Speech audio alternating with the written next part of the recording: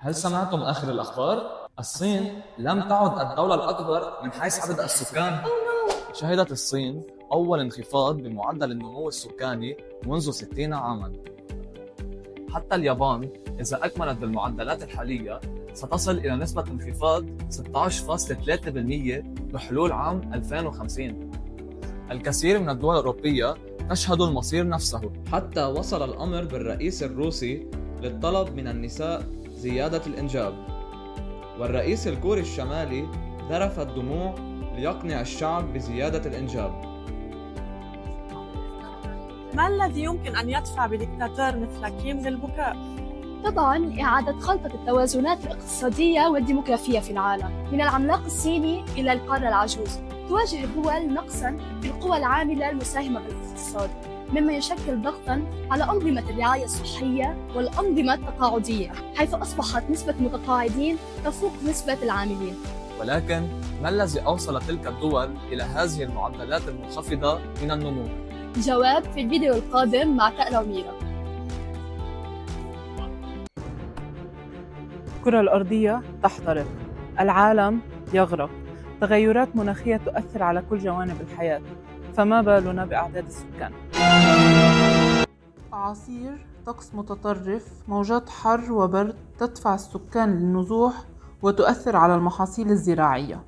ضحايا مباشرين لهذه الكوارث باتت أعدادهم بالآلاف الأمر الذي يعني انخفاضا إضافيا بعدد السكان. من الناحية الطبية يعد العقم ناتجا عن عوامل ذكورية وعوامل أنثوية بنسبة متساوية.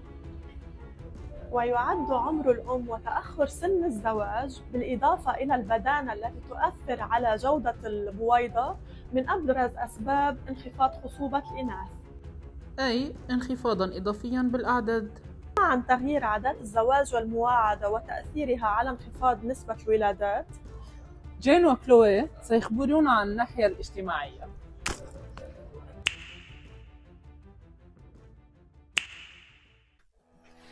شهدت العلاقات وعالم المواعدة بشكل عام تغيرات جذرية.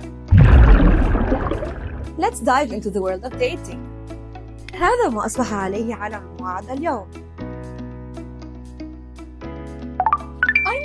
أيوة يلا قبلنا استبدلت أهداف الزواج التقليدي بالمواعدة عبر منصات التعارف التي تلبي غاية محددة. يعني كلنا بنعرف ليه بنستعمل تندر وبعد الأفكار والحركات الجديدة فوربي موفمنت مثلا نسفت فكرة الزواج كاملا لأن النساء يرفضن الرجال بشكل قاطع لدرجة أن حكومة كوريا الجنوبية تدفع لهن ليقبلن بالإنجاب. السيدات العاملات أصبحت أولويتهن العمل وارتفع معدل العمر عند الإنجاب بشكل ملحوظ ومعدل عمر الزواج عدا عن المثلية الجنسية التي تمنع أو تحد الولادات الطبيعية بعيدا عن التبني أو الإنجاب بطرق مخبرية كل هذه العوامل وغيرها تساهم في تقليل عدد السكان فهل تسير مسير البشرية إلى الديناصورات؟ من يدري؟